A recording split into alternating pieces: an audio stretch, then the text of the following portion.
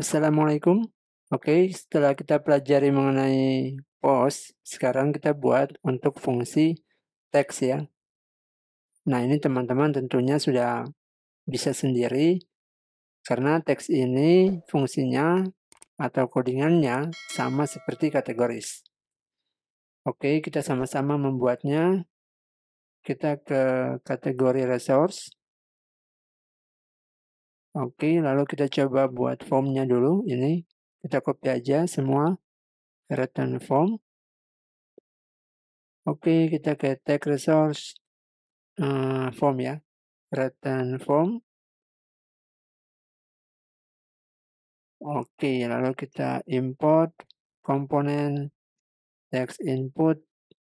Oke, kita kontrol space. Lalu kita pilih kelasnya ini closure ops double. Oke. Okay. oke okay, sudah. Lalu kita ke kategori resource. Kita copy yang tabel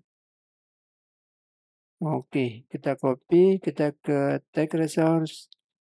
Kemudian tabel kita copy. Paste di sini. Oke lalu control space text stable oke. Okay. oke okay, sudah kita simpan. Kemudian kita coba jalankan. Hmm, kita refresh. Oke. Okay. new tag. Name uh, tutorial. Enter. Oke okay, ada. Text tutorial Oke, kita next. Uh, misalnya video tutorial. Oke, kita ke sini. Nah, sekarang kita coba ketika kita membuat baru new tag. Jadi ketika kita isi nanti, misalnya hmm, artikel, lalu kita create, maka dia langsung kembali ke indeks ya. Nah, itu kita bisa buat di sini. Di fungsi tag resource, saat ini create tag. Oke. Okay. Jadi saat create tag dibuat, nah kita buat fungsi get redirect URL. Oke. Okay. Nah, seperti ini. Return this get resource, get URL, index. Oke, okay, kita simpan.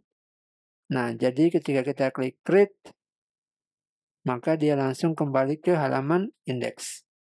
Oke, okay, begitu ya teman-teman untuk fungsi atau menu teks. Nah, kita bisa edit artikel, misalnya artikel, kita save Oke. Nah, jadi kalau teman-teman mau gunakan di uh, edit untuk editnya, nah teman-teman bisa ini edit tag. Oke, kita coba di sini.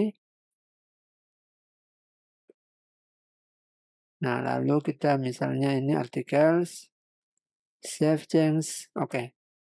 Gitu ya. Jadi demikian video kita untuk fungsi CRUD di menu teks. Oke, semoga bermanfaat. Sampai jumpa di tutorial berikutnya. Salam programmer.